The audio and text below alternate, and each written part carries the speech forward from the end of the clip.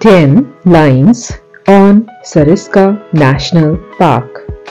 Sariska National Park is located in the Alwar district of Rajasthan.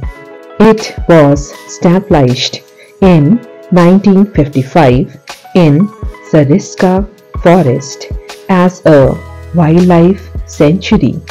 It was declared a national park in 1979.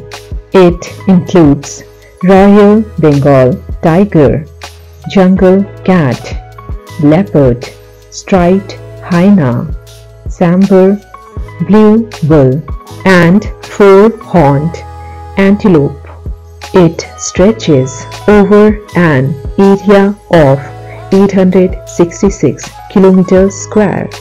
Royal Bengal tiger is the main tourist attraction of the reserve.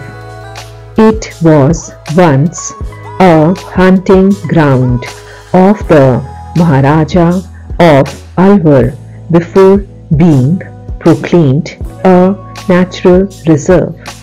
There are two gates in the reserve, the Tela Gate and the Sariska Gate. Jeep Safari is a good option to explore the wilderness of the reserve.